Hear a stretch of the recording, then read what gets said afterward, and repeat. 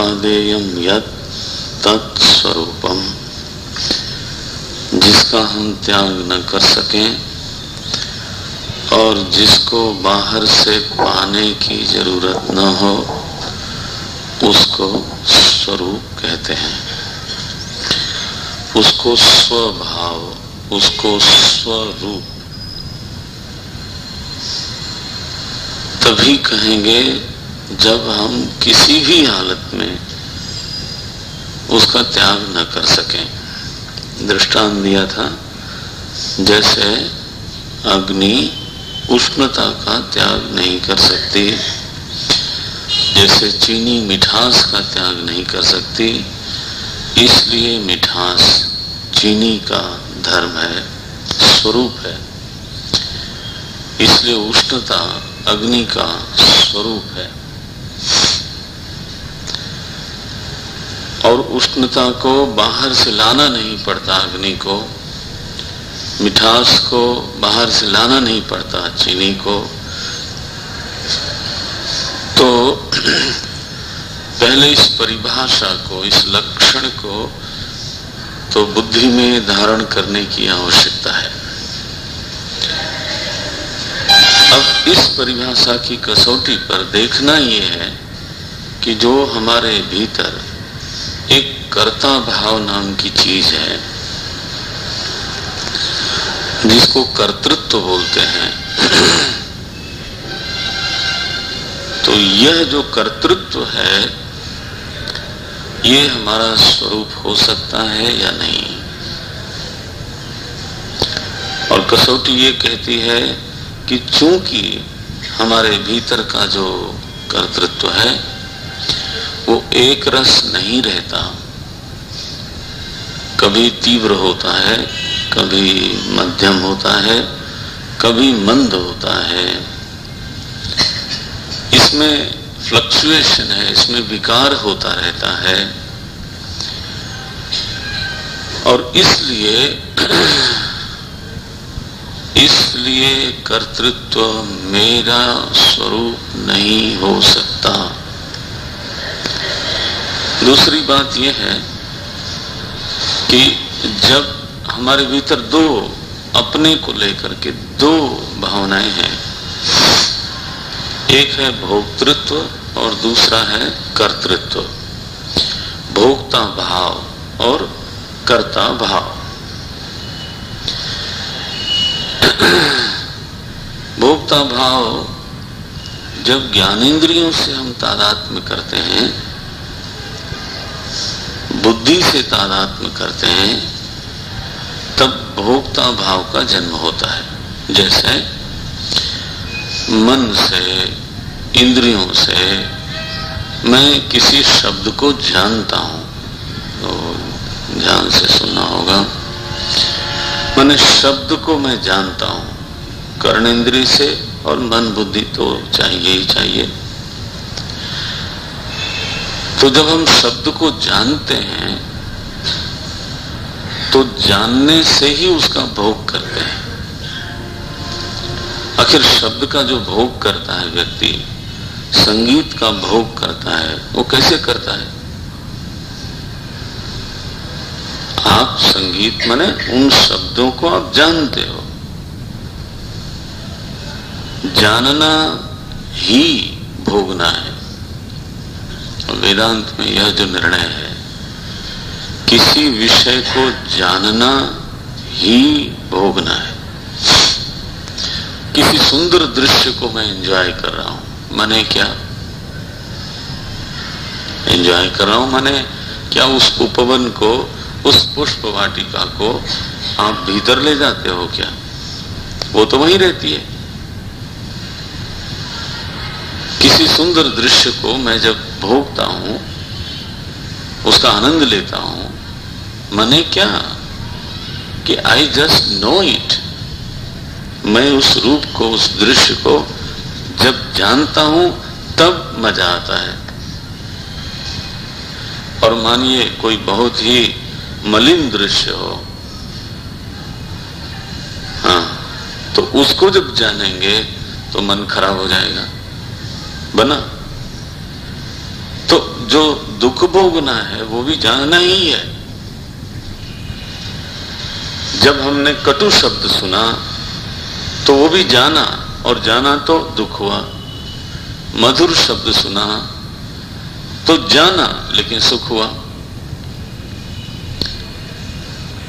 तो जानने में और भोगने में कोई बहुत अंतर नहीं है।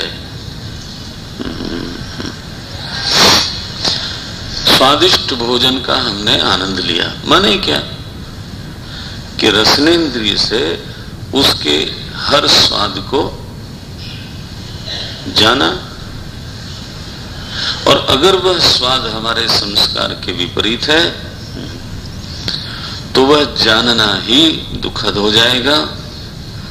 और अगर हमारे संस्कार के वो अनुकूल है तो वह जानना ही सुखद हो जाएगा। तो ये जो भोक्ता भाव है, ये क्या है? अगर हम एनालाइज करें तो। जानने की क्रिया के साथ भोक्ता भाव हमसे जुड़ा हुआ है। और कर्मेंद्रियों से कर्ता भाव जुड़ा हुआ है। जब हम चलते हैं कर्मेंद्री है पैर जब हम चलते हैं, तब कर्म करते हैं। हाथ की क्रिया को से जुड़ करके हम कर्म करते हैं। वाणी की क्रिया से जुड़ के कर्म करते हैं। देखो, कर्मेंद्रियों से तादात्म करके मैं बनता हूँ, क्या करता? ज्ञानेन्द्रियों से तादात्म करके मैं बनता हूँ। भोक्ता। तो भोक्तृत्व और कर्तृत्व, बस ये हमारी मूल पहचान है, मेरा जो अस्तित्व है, मैं जिसको मैं बोल रहा हूँ, इसमें यही तो दो चीज़ें हैं। इस भोक्ता में ही इच्छा उत्पन्न होती है, और वही इच्छा फिर कहीं न कहीं हमारे भीतर कर्म करने की प्रेरणा देती है। और फिर मैं कर्म इंद्रियों के द्वारा कर्म करता हूँ और करता बनता हूँ। तो मैं जिस वस्तु का नाम है अपना अपना हृदय में देखो आप, मैं किसी और की बात नहीं। मैं जिसका नाम है, उसमें ये दो चीज़ें पड़ी हुई हैं, भोक्ता भाव और कर्ता भाव। बस यही तो पूरी समस्या है। भोक्तृत्व के कारण इच्छा होती है फिर उस, उस इच्छा से कर्तृत्व प्रेरित होता है। कर्तृत्व से कर्म होता है। कर्म से फल बनता है। वो फल परिस्थिति के रूप में हमारे सामने आता है। सुख दुख देने के लिए। फिर उस फल को फिर भोगते हैं हम। फिर भोगने से संस्कार बना। फिर उस संस्कार से भोगता में इच्छा होगी। इच्छा फिर कर्म करवाएगा। कर्म फिर फल देगा। फल फिर भोग कराएगा। भोग से फिर संस्कार बनेगा। लोग इसको बोलते हैं चक्र। कभी इसी को बोलते हैं भव सागर क्योंकि ये तो गति नहीं है इसमें। इसमें चक्र है, चक्कर है। लेकिन वेदांत का प्रश्न क्या है? लक्ष्मण जी क्या कहते हैं कि यह जो अपने भीतर हम कर्ता भाव अनुभव करते हैं, भोक्ता भाव अनुभव करते हैं अब ये इतना स्ट्रांग है कि मैं क्या बताऊँ? लेकिन ये है मिथ्या।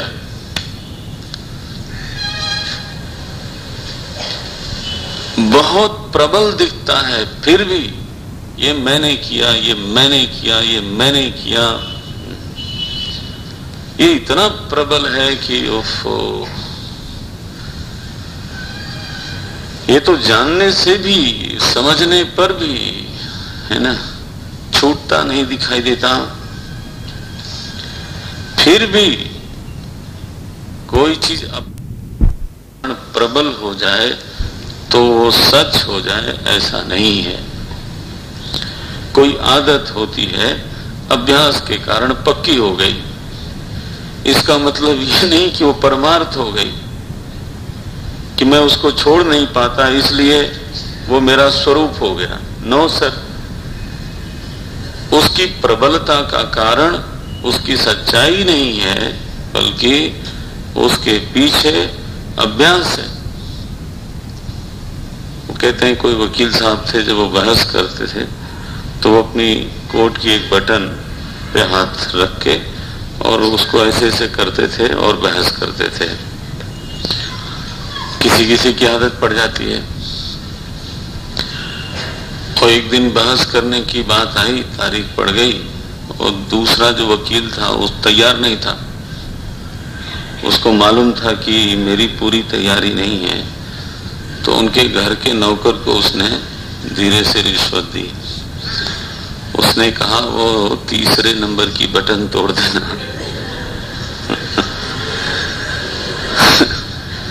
अब वो महाराज, जब वो बहस करने के लिए आए और पहला हाथ गया वहाँ और वहाँ बटन नहीं। अब उनका विचार ही न चले। तो बटन के साथ विचार। ये कोई रिश्ता थोड़ो है कि नहीं, बटन घूमेगी तो विचार भी घूमेगा।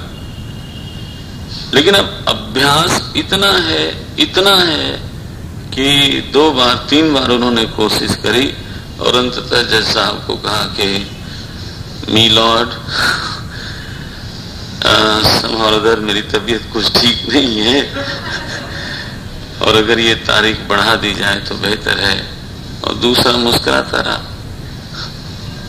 तो अभ्यास के कारण वो विचार नहीं कर पाए, बहस नहीं कर पाए।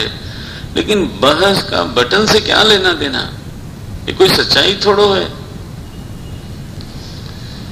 कई लोगों को तकिया कलाम बोलते हैं ना। हमारे एक बुज़ुर्ग महात्मा, बहुत विद्वान। तो वो बताते थे कि हमारे एक शिष्य को आदत पड़ गई बोलते बोलते कि कोई बात कहने के बाद बोलता था, समझ गए ना? तो बोले, वो गुरु बोल रहे थे कि वो मुझे भी बात करते करते बोलता था। समझ गए ना? वो बोले, भाई तो एक बार समझाया दो बार समझ, वो नहीं समझता अभ्यास पड़ गया। अब वो कहे कि मेरा स्वरूप ऐसा है तो ये तो गलत बात है। तुमने डालते डालते वो अभ्यास डालते डालते उसको इतना पक्का कर लिया कि बस अब कहा बोलना चाहिए समझ गए ना और कहा नहीं बोल एक महात्मा थे वो आधी बात बोलते थे। पूरी बात बोलते नहीं थे। जैसे एक शिष्य को बोला उन्होंने अमुक गिलास अब गिलास माने क्या? उसको फेंक दें कि उसको ले हमें कि उसको साफ़ करें। हाँ, गिलास। ये सच बात कह रहा हूँ ये ये ऐसा होता है। कई लोग आधी बात करके वो सोचते हैं बाकी तो समझ ही लेगा। अब मान लो जो तो ट्यून्ड है, वो तो समझ लेगा। लेकिन हमारी आदत बिगड़ी है और मैं कहीं अनजानी जगह पे जाऊँ और बोलूँ, गिलास। तो अभ्यास से बहुत सी चीज़ें सिद्ध हो जाती हैं। उसमें सच्चाई बिल्कुल नहीं होती। और कई बार हम जानते हैं और छोड़ नहीं पाते। उसका हेतु उसकी सत्यता नहीं है, बल्कि उसके पीछे अभ्यास है। सुकर्ता भाव वो दृढ़ हो गया है, क्योंकि अनादि काल से ये अभ्यास पड़ा हुआ है, मैं करता हूँ, मैं करता हूँ, और आपको निवेदन करूँ हमारे सनातन धर्म में हर शास्त्र ये कहता है कि आप करता नहीं हो। पहली बात तो यही कहता है वो। गीता तो अहंकार विमूढ़ आत्मा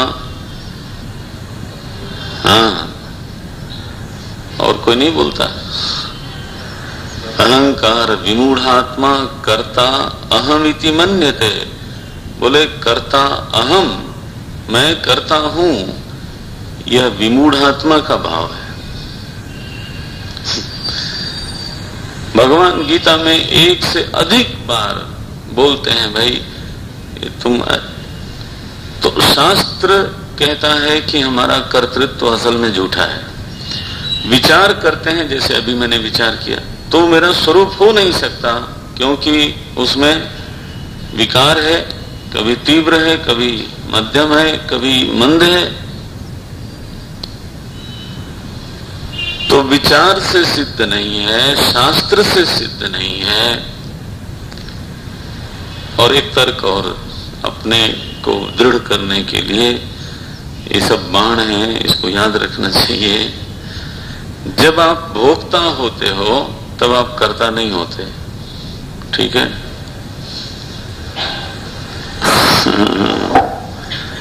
और जब आप कर्ता होते हो, उस समय भोक्ता नहीं होते। बोलो। तो अगर वो आपका स्वरूप होता हाँ तो वो तो कभी भी जाता नहीं। स्वरूप की परिभाषा क्या है कि जब हम उस चीज़ का त्याग नहीं कर सके तो जब हम भोक्ता भाव में होते हैं तो कर्ता भाव अपने ही छूट जाता है। और जब कर्ता भाव में आते हैं तो भोक्ता भाव छूटता है। सीधा अभिप्राय निकलता है हम्म, कि यह मैं का अहम का स्वरूप नहीं है।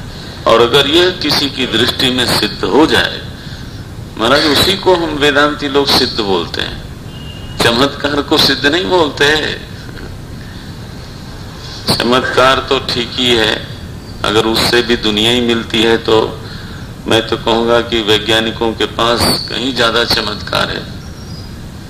हाँ ये बात अलग है कि हमको लगता है कि ये कॉमन चीज़ है। आप बैठे बैठे यहाँ से विदेशों में बात करते हो, हैं? बिना तार के यहाँ बोलते हो, वहाँ सुनाई पड़ता है, वहाँ बोलता है कोई। ये चमत्कार नहीं है। गुरुदेव कहा कहते थे mystery is mystery till it is known रहस्य कब तक रहस्य है? जब तक उसका सिद्धांत मालूम न पड़ जाए।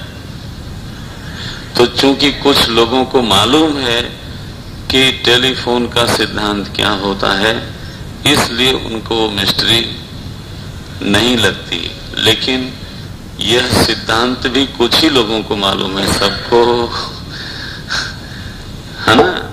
तो वी टेक फॉर ग्रांटेड है ना?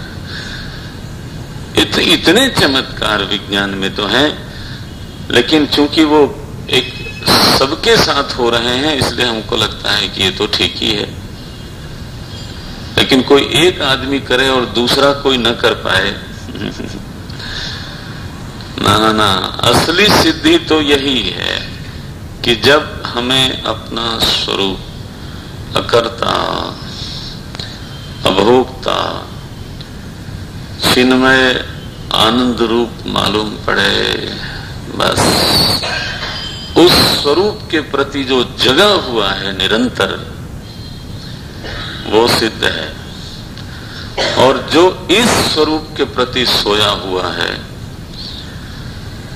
लक्ष्मण जी कहते हैं, मोह निशा सब सोवनिहारा इस स्वरूप के प्रति चूँकि हम अनजान बने बैठे हैं, सोए बैठे हैं, इसलिए देख ही सपन अनेक प्रकारा। तो यह जो नाना प्रकार का प्रपंच हमारे सामने दिखता है, ये स्वप्नवत है। कल मैं कह रहा था, हमने इसको इतना ज़्यादा महत्व दे दिया कि आपका अपना महत्व ज़ीरो हो गया। और परिस्थिति बन गई मालिक हाँ, और हम बने परिस्थिति के दास। हाँ जी हाँ। थोड़ा अभ्यास साधना अवस्था में भी किया जाए कि जिन परिस्थितियों को मैं इतना बड़ा नंबर दे रहा हूँ इतना महत्व दे रहा हूँ ये थोड़ी देर में खत्म होने वाली है। फिर इसका नामो निशान नहीं रहने वाला है। ये स्वप्नवत एक संकल्प की तरह आती है और चली जाती है। स्वकाले सत्यवत भादी प्रबोधे सती असत भवे वेदांत का आवाहन है, रामायण का आवाहन है कि अपने परमात्मा स्वरूप को आत्मा स्वरूप को जरा पहचाना जाए। तब देखो परिस्थिति का क्या बनता है। ये स्वप्न हो जाएगी। आपकी महिमा है। ये तो केवल मोह से सिद्ध है। मोह निशा सब सो अनिहारा देख सपन अनेक प्रकारा। यही जग जामिनी जा गई जोगी परमारथी। प्रपंच भी होगी। आइए जरा इसका पाठ करें, क्योंकि किया नहीं इसका पाठ। अगला दुआ है।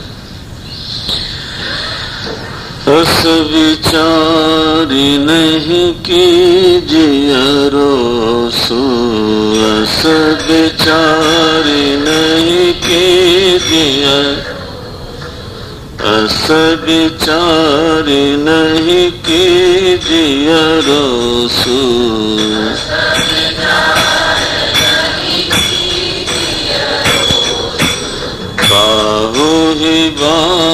दिन गए दोषु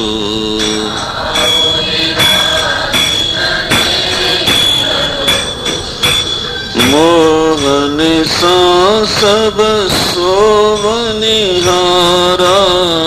मोहन सा सब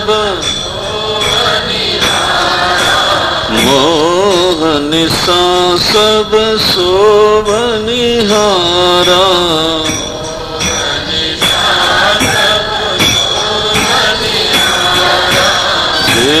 कहीं सपन अनेक प्रकारा।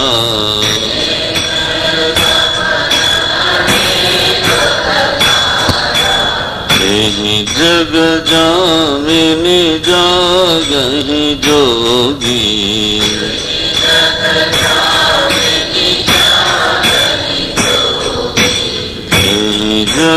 जामिनी जागहि जोगी।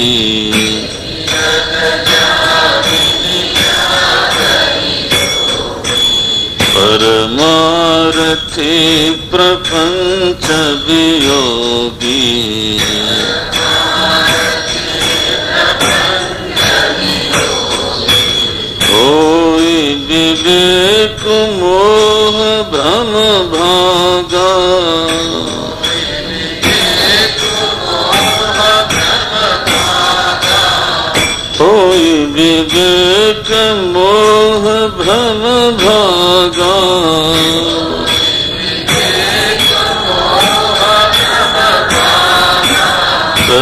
रघुनाथ चरण अनुरागा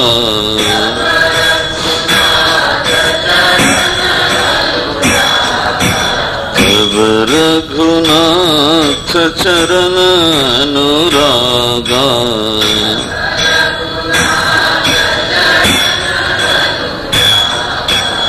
सखा परम परमारथ ये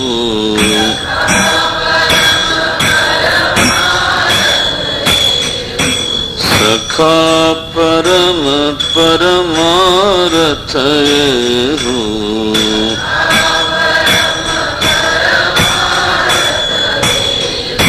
मन क्रम बचन राम पद ने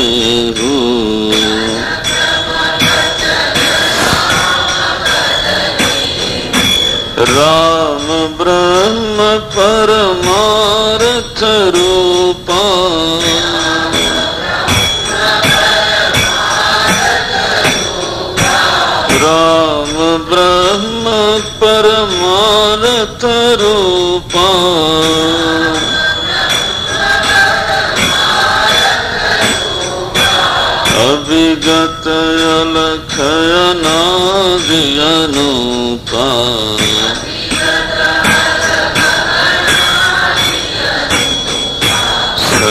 सकल विकार रहित गत भेदा।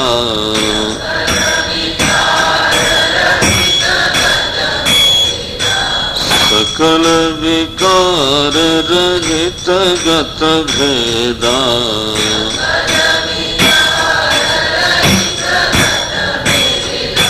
कही नित ने तीन रूप ही वेदा।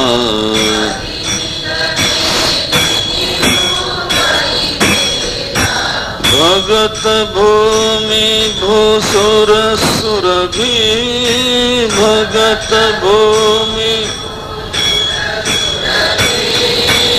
भगत भूमि भूसुर सुर भी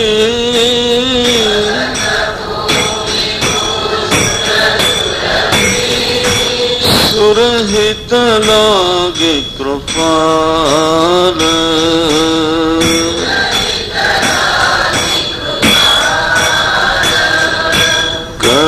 चरित धरि मनुजतनु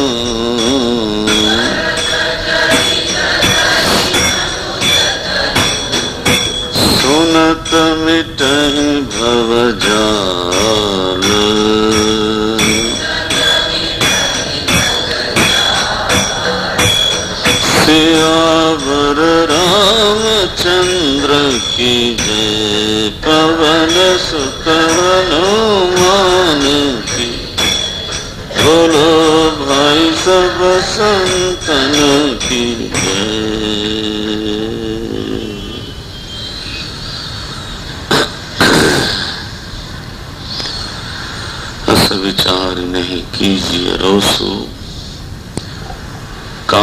बाद न दे दोसो निषाद राज। ऐसा विचार करो और किसी को दोष क्यों देते हो?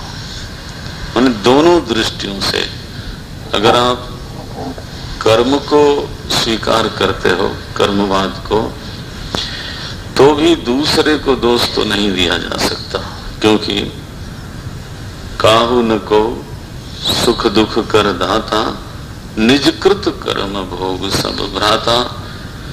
अगर हम कर्मवादी हैं, कर्म सिद्धांत को स्वीकार करते हैं तो भी दूसरे को दोष नहीं दिया जा सकता। तब तो प्रयत्न यही करना चाहिए कि हम अपने कर्म को सुधारें। लेकिन अगर परमार्थ दृष्टि है तो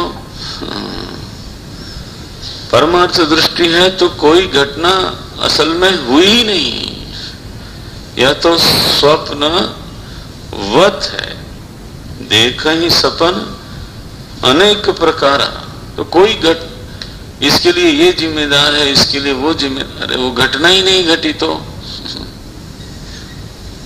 ये तो परमार्थ दृष्टि ये है कि जीवन में जिसको हम घटना बोलते हैं, यहाँ उसको सपना कहा गया। देखिए सपन जब हम अपने जागृत स्वरूप के प्रति बेहोश हो जाते हैं, स्वप्न कब आता है?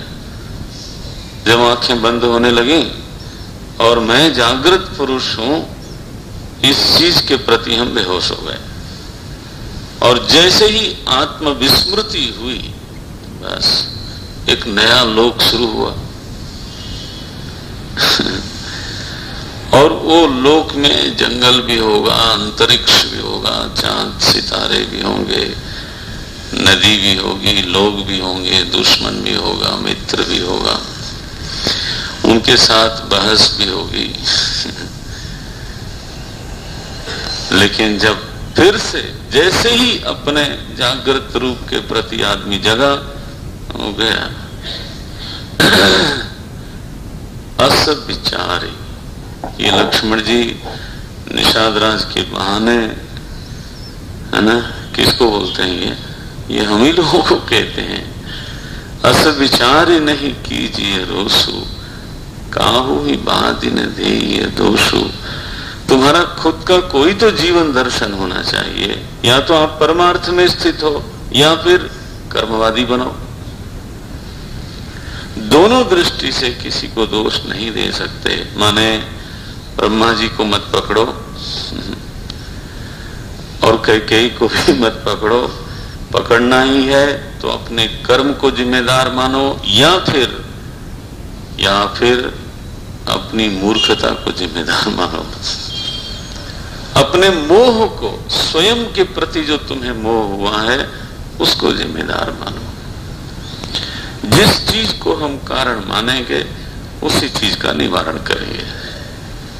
अगर मोह कारण है तो व्यक्ति मोह को निवारण करना चाहेगा। अगर दुष्कर्म कारण है तो फिर सत्कर्म करना चाहेगा। Choice is yours now Nishad Raj ने मानो पूछा कि महाराज, आप कहते हो मोह निशा में सब लोग सोते हैं, अपने स्वरूप के प्रति ही सोते हैं, इसलिए ये सारा दिखता है। तो कोई जगता भी है क्या? जगे हुए व्यक्ति का लक्षण क्या है? और कौन जगता है? बिल्कुल सूत्र भाषा में गोस्वामी जी लिखते हैं कहते हैं यही जग जामिनी जाग ही जोगी। इस जगत रूपी चांदनी रात में यामिनी का अर्थ प्रायः चांदनी रात होता है। खिली हुई चंद्रिका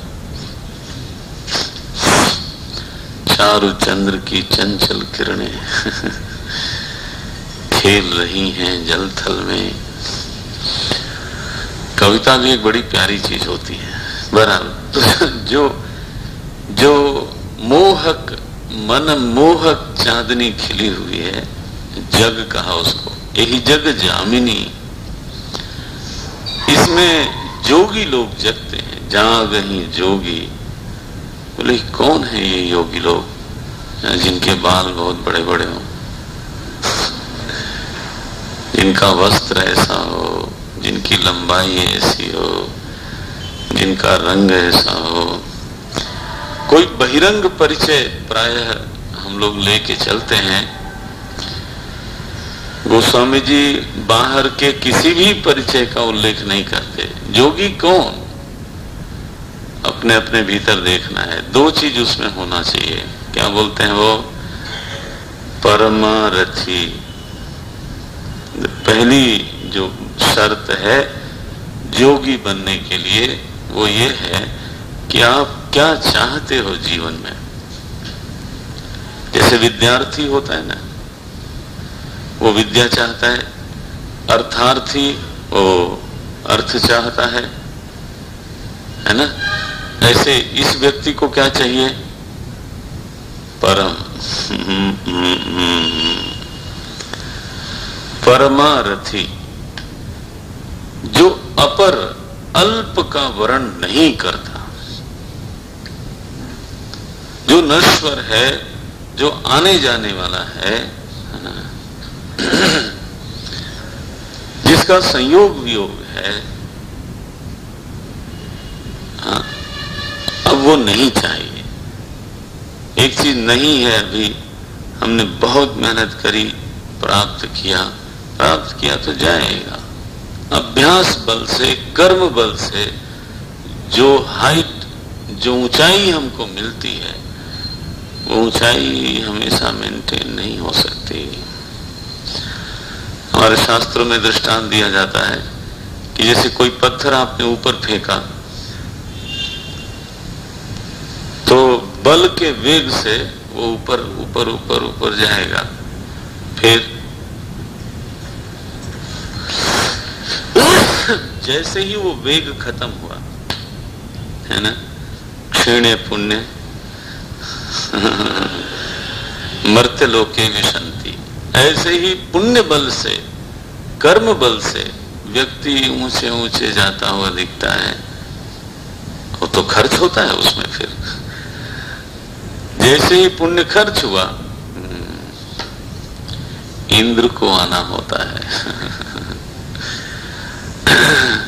हम एक अफसर महाराज आई एस ऑफिसर तो रिटायर हुए। तो उन्होंने बड़ा ही बद्दा सा दृष्टान दिया अब क्या बोलूँ लेकिन बोलते ही हूँ। बोले तो तीसों साल से मैं सब्ज़ी मंडी में नहीं गया था और मैंने अपने हाथ से पोस्ट नहीं करी थी और बैंक में भी कोई चपरासी वगैरह ही जाता था। और तो उन्होंने दृष्टांत क्या दिया कि जैसे चीनी भरी हो बोरे में, वो कड़क होती है बिल्कुल, और जैसे ही वो निकल गई। बोले, महाराज, जब हम रिटायर हुए तो मेरी हालत वो हो गई। ये उन्होंने दृष्टांत उनके मुँह से हमने कहा, भाई, ये तो आगमा पाई ना ये आने जाने वाली चीज़ है। इसका तात्कालिक महत्व तो है, ठीक है। लेकिन जीवन में अगर हम यही चाहते हैं तो फिर तो यही होगा। क्या चाहिए? किस चीज़ को सामने रख के हम जी रहे हैं? बोले, परमारथी। हमारे शास्त्र इस विषय में इतने स्पष्ट हैं। कठोपनिषद वेद में आता है, शुक्ल यजुर्वेद में। वहाँ ये कह दिया गया कि अगर आप बहुत अच्छा प्रवचन भी करते हो तो ज़रूरी नहीं है कि आपको आत्मज्ञान हो जाए। नायमात्मा प्रवचन न लभ्या, साफ़ बोलते और शंकराचार्य जी ने तो हम लोगों को काफ़ी डांट वांट पिलाई है। बोले, भाई, अगर आपको दुनिया ही चाहिए, प्रवचन से यश चाहिए, प्रतिष्ठा चाहिए, और भी कुछ हो सकता है तो शंकराचार्य जी महाराज कहते हैं कि वो मिल जाएगा आपको। मैं ये नहीं कहता कि नहीं मिलेगा। वहाँ, वही खरी। अब इसको तो नहीं कोई पूरा करेगा शायद। वहाँ, वही खरी, शब्द झरी। हो, संस्कृत के श्लोक भी जोरदार होते हैं। वहाँ, वही खरी, शब्द झरी। शास्त्र व्याख्यान कौशलम। वैदुष्यम विदुषाम तदवत। भुक्त भुक्त न तो मुक्त। बोले बहुत से विद्वानों का वैदुष्य हाँ, भोग के लिए होता है मुक्ति के लिए नहीं। तो उपनिषद ने कहा नायमात्मा प्रवचन न लभ्या। बहुत याद है श्रुति ने कहा न मे दया। बोले मैं बहुत सुनता हूँ सबको सुनता हूँ। न बहुना श्रुते न नायमात्मा प्रवचन न लभ्य, न मेधया, न बहुना श्रुते न बोले, महाराज, फिर ये ये मिलता कैसे है? इसे यमे वैश्य वृणुते ते न लभ्य। जो इसको चाहता है, जो इसका वर्ण करता है, उसको कभी न कभी ये मिल जाता है। तस्ेष आत्मा विवृणते तनुम स्वाम। व्यक्ति को साधक बनाने वाली जो चीज़ है वो वर्ण ही है।